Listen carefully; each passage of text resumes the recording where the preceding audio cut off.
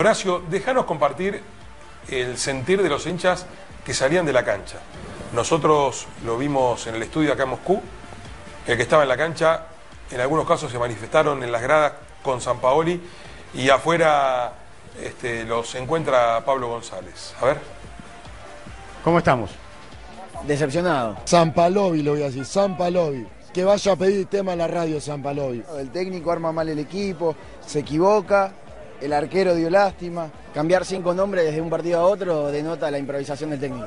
El primer partido con Islandia tuviste seis meses para planearlo y no había identidad de juego, nadie sabía qué hacer. Caballero abrió todo el partido, abre el partido y eso en un partido cerrado es increíble. En ningún lado vimos un sistema de juego.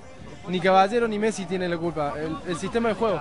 Hay un técnico que es un poco cabeza dura, desde que lo hace salir a Romero del equipo, en no poner a Armani. Hablaron los croatas, hablaron los de Islandia, todos nos boludearon, no tenemos identidad, no tenemos juego, no tenemos salida, no tenemos laterales, salimos por el medio, eh, Messi pegó dos patadas nada más y no hizo nada. Creo que falta mucha sangre en este equipo, falta mucho, mucho sentir la camiseta. Poner a Enzo Pérez, que lo de 10 días antes de un mundial por una lesión, ponerlo de titular en un partido definitorio, indica improvisación. Pobre Messi, porque juega con 10 tipos que es imposible jugar así. La verdad, Messi, sos un excelente jugador. En Argentina no nos servís, San Paoli tampoco nos servís. Sentí mucha vergüenza porque yo lo vi en la pantalla del estadio cuando el técnico nuestro lo grita cagón un jugador de Croacia.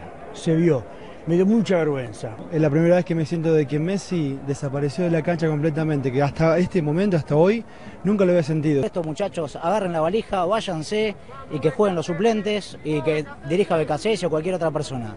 Muchachos, gracias. Nos vemos en Buenos Aires y no vuelvan más. Esto pasaba cuando terminaba el partido.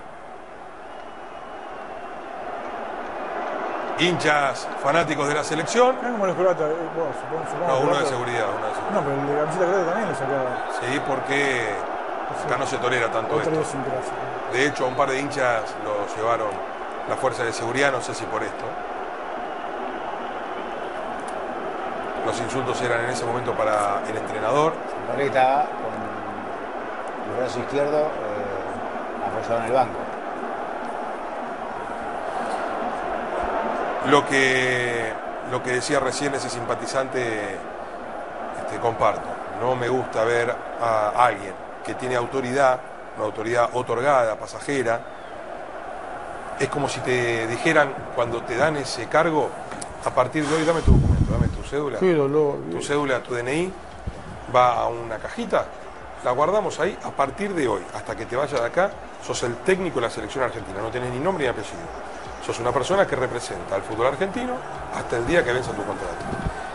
Es inadmisible que un técnico de la selección argentina le grite cagón a un rival, mucho menos en una Copa del Mundo.